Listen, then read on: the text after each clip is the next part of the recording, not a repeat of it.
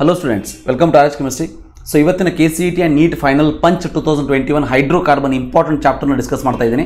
So ಇದರ synopsis ಲಿಂಕನ್ನು community ಟ್ಯಾಬಲ್ಲೂ ಕೂಡ ಕೊಟ್ಟಿದ್ದೀನಿ. ಮತ್ತು ಈ ಈ ಒಂದು ವಿಡಿಯೋದ ಕೆಳಗಡೆ ಡಿಸ್ಕ್ರಿಪ್ಷನಲ್ಲಿ ಕೂಡ ಕೊಟ್ಟಿರ್ತೀನಿ. Please go through that so ಅದಾದಮೇಲೆ ಇದರಲ್ಲಿ ಮೂರು ಪಾರ್ಟನ್ನು ಮಾಡ್ತಾ ಇದ್ದೀನಿ. ಪಾರ್ಟ್ ಒನ್ ಎಕ್ಸಾಂಪಲ್ ಕ್ವಶನ್ ಇನ್ನೊಂದು ಪಾರ್ಟು ಈ ವಿಡಿಯೋ ಆದ ತಕ್ಷಣ ಇನ್ನೊಂದು ತಾಸಿನೊಳಗೆ ಇನ್ನೊಂದು ಪಾರ್ಟ್ ಬರ್ತದೆ. ಅದನ್ನು ಕೂಡ ನೋಡಿ.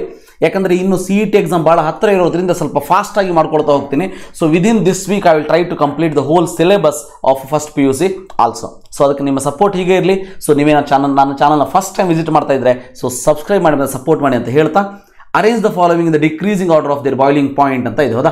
ಸೊ ನೋಡಿ decreasing order of their boiling point ಅಂತ ಕೊಟ್ಟಾಗ, ನೋಡಿ ಎನ್ ಬ್ಯೂಟೇನ್ ಇದೆ, ಇದು butane two methyl butane n pentane two two dimethyl propane so n butane ಅಂತಂದ್ರೆ ಈ ರೀತಿ ಬರ್ತದೆ. ಹೌದಾ? ನಾಲ್ಕು ಕಾರ್ಬನ್ ಟೂ ಮಿಥೈಲ್ ಬ್ಯೂಟೇನ್ ಅಂತಂದ್ರೆ ಈ ರೀತಿ ಬರ್ತದೆ.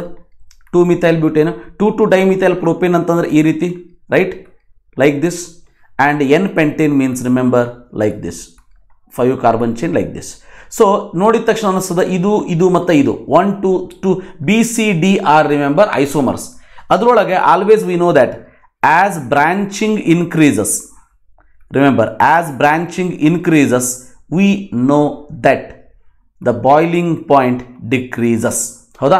ಅಂದರೆ ಎನ್ ಪೆಂಟೇನ್ ಜಾಸ್ತಿ ಬಾಯ್ಲಿಂಗ್ ಪಾಯಿಂಟ್ ಇರ್ತದೆ C is more no doubt in it C is more ಅದಾದಮೇಲೆ butane it is four carbon atom ಅದಕ್ಕೆ ಇವೆರಡಕ್ಕಿಂತ ಇದು ಕಡಿಮೆ ಇರ್ತದೆ A is less right C is more A is less only one option left that is fourth one next B and D ಮಧ್ಯೆ so B will have more than D because ಇದರಲ್ಲಿ branching ಕಡಿಮೆ ಇದೆ compare to this hence remember answer for this question is fourth one then second one arrange the following halogen ಇಂದ in increasing reactivity ಬಹಳ simple question ಇದು. ಬಹಳ ಸಾರಿ ಕೇಳಿರ್ತಾರೆ ಬಹಳ ಕಡೆ ಕೇಳಿರ್ತಾರೆ. Simple simple question F two is always more reactive I two is least reactive so the answer is second one increasing order of reduction of alkyl halide with zinc and dilute HCl. Reduction of alkyl halide with zinc and dilute HCl, which is remember, so, it depending on R R group and the halogen R group ಎರಡ same ಇದೆ, ಹೌದಾ? Same ಇದೆ. ಇಲ್ಲ ಅಂದ್ರೆ tertiary more than secondary more than primary ಆಗ್ತಿತ್ತು. R group same ಇದೆ. Iodine bond length ಜಾಸ್ತಿ ಇದೆ. ಅಯೋಡೀನ್ ಕೇಸ್ ಒಳಗೆ that is a very good leaving group iodine is a very good leaving group because of that reason remember the answer for this question is R I R B R R C L second correct I P S name of the following ಕರೆಕ್ಟಾಗಿ ನೋಡ್ತಾ ಹೋಗಿ, ಇದು ethyl group ಇದು ಕೂಡ ethyl group ಇದೆ, ಹೌದಾ?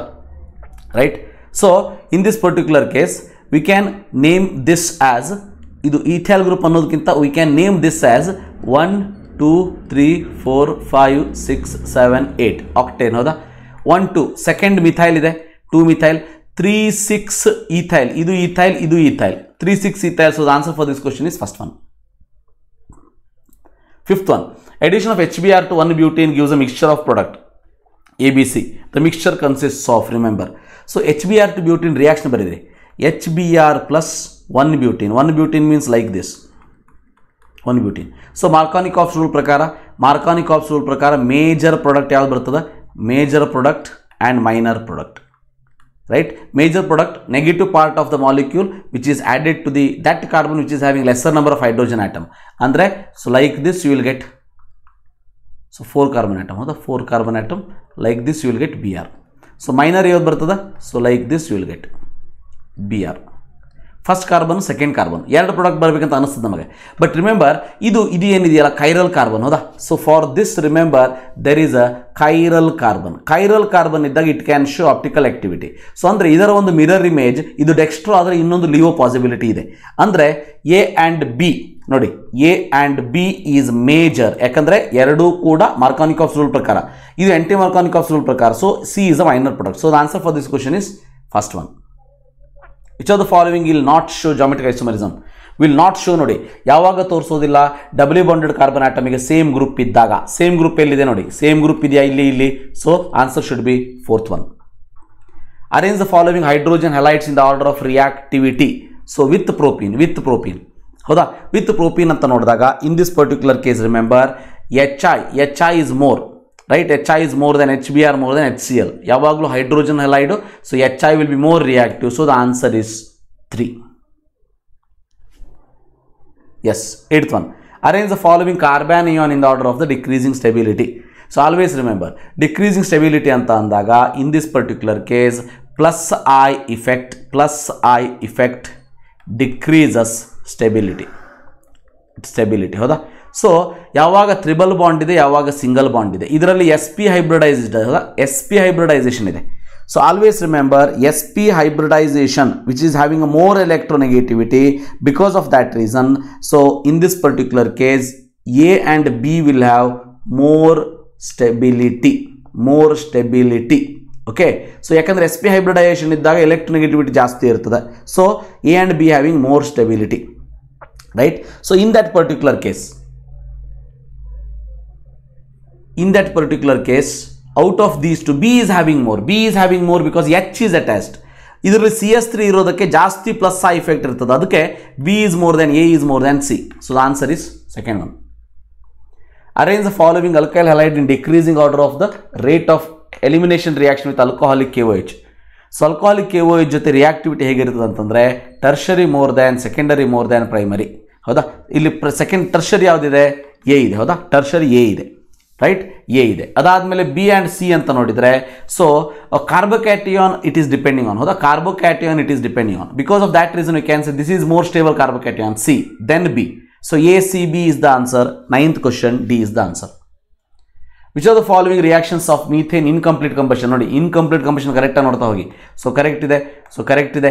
ಇದು ನೋಡಿ ಇನ್ಕಂಪ್ಲೀಟ್ ಕಂಬಷನ್ ಯಾವಾಗಲೂ ಕಾರ್ಬನ್ ಯಾವಾಗ ಬರ್ತದ ಅದು incomplete combustion remember so the answer is three eleventh the compound cyclooctane has the following structural formula if it is cyclic and has conjugated eight pi electron system but it is not an aromatic correct ಯಾಕಂದರೆ four n plus two pi electron system ಇರಬೇಕು, ಹೌದಾ? Four n plus two pi electron ಇಲ್ಲ.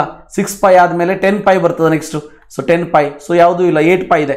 So reason is also correct so the answer is one twelfth one toluene on Friedel Crafts methylation gives ortho and para xylene correct ಯಾಕಂದರೆ toluene ಏನಿದೆಯಲ್ಲ methyl group methyl group is remember electron donating group hence ortho and para director hence, it is correct. Cs3 group bonded to benzene ring increases the electron density at ortho and para position. So, that is also correct. So, the answer is a. nitration of benzene with nitric acid required use of concentrated sulfuric acid remember nitration of benzene with nitric acid required consult definitely because nitric acid and concentrated nit- sulfuric acid is known as nitrating mixture ನೆನಪಿದೆಯಾ ನೈಟ್ರೇಟಿಂಗ್ mixture ಅಂತ ಕರಿತೀವಿ hence so A is correct mixture of concentrate sulphuric acid concentrate produce N two plus it is also correct remember N two plus nucleophile release ಆಗ್ತದೆ so nitronium ion so hence the answer for this question is once again A And the last question in this exemplar series, among isomeric pentane 2 2 dimethyl pentane has highest boiling point. ನೋಡಿ isomeric ಪೆಂಟೇನಲ್ಲಿ two two dimethyl pentane ಅಂದರೆ branching ಇದೆ. So branching ಇದೆ. Branching ಇದೆ ಅಂತಂದ್ರೆ boiling point ಏನಾಗ್ತದೆ? Decrease ಆಗ್ತದೆ, ಹೌದಾ? ಸೊ ಡಿಕ್ರೀಸ್ ಆಗ್ತದೆ. Branching does not affect the boiling point ಅಂತಂದ್ರೆ ಇದು ರಾಂಗು ಇದು wrong so answer for this question is C both A and R are not correct so these are the fourteen question so ಈ ಚಾಪ್ಟ್ರಿಂದ ಬಹಳ simple ಆಗಿ question ಕೇಳ್ತಾರೆ. ನೀವು previous year ಕ್ವಶನ್ಸನ್ನು ಕೂಡ ನೋಡ್ಬೋದು. ಸೊ ಸಿ ಇ ಟಿ ಮತ್ತು ನೀಟ್ ಎಕ್ಸಾಮ್ಗಳಲ್ಲಿ ಸೊ ಮುಂದಿನ ಒಂದು ವಿಡಿಯೋದಲ್ಲಿ part two two of multiple choice ಕ್ವಶನ್ಸನ್ನು solve ಮಾಡೋಣತ್ತೆ ಅಲ್ಲಿವರೆಗೂ thank you have a nice day